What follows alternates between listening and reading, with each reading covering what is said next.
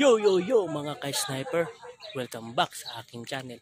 For today's vlog ay mag-ikot tayo sa Ola Air Swimming Resort. So yan, nandito ako at naliligo kami. So ngayon mga ka-sniper, ah, sabayan nyo ako dahil iikotin natin yung buong Ola Air Resort. Pero kung bago ka pa sa aking channel, huwag kalimutang mag-like, comment, share, subscribe at nutin ang bell button para update ka sa mga video na i-upload ko. Kaya mga ka-sniper, tirahin na natin to.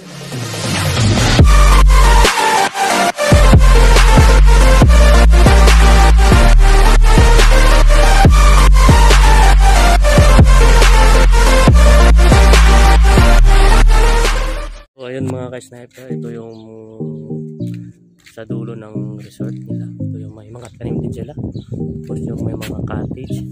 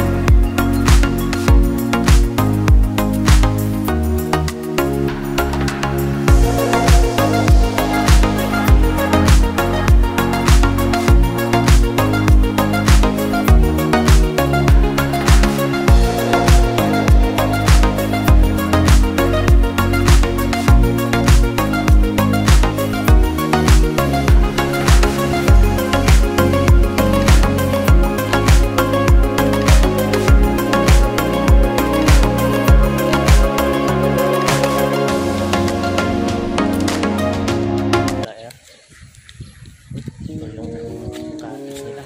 Yung ganda din yung cottage. 400 yung ganito kalaki.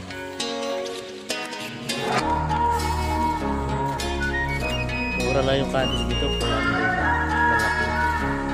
Ka- Kasya na buong kami.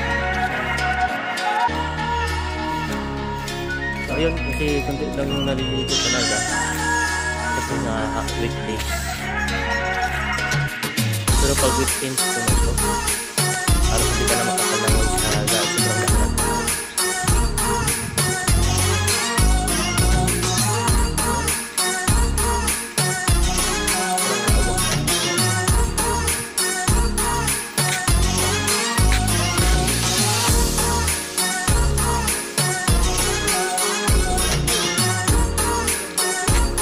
Hoy, shout out. Shout out. Food panda. asa ito natong kanang sa buglong at tubig? Wala. Wala pa dala kami ito. Ano? Ag, ito lang na.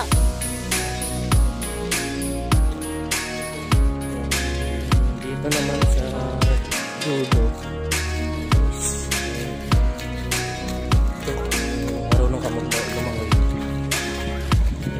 Diyan ka dito kasi mataas na yung tubig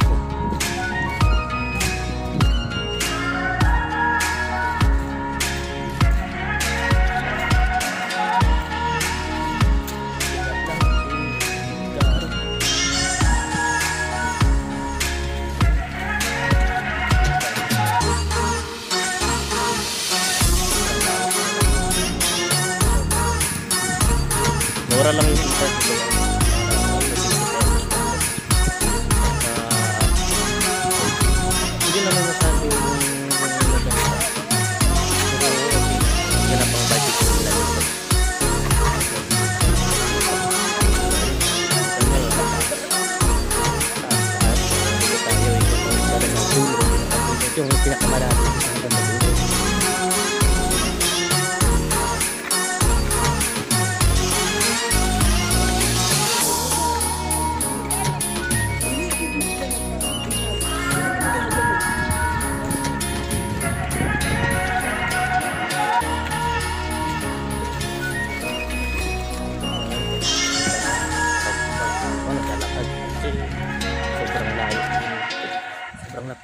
ng swimming pool nila. So ayan kung ikaw gusto mo malalim yung pinakamalalim ito na yung pinakamalalim nila. Nasa 6 feet yung tubig at dito. So ano kung hindi ka marunong kumangoy huwag ka na lang huwag ka dito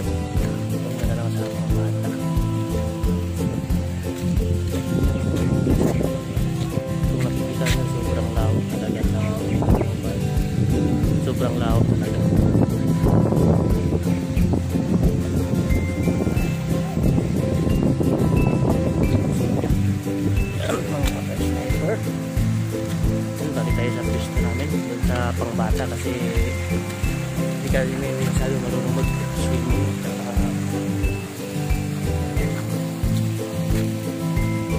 So, yun lang mga thank you.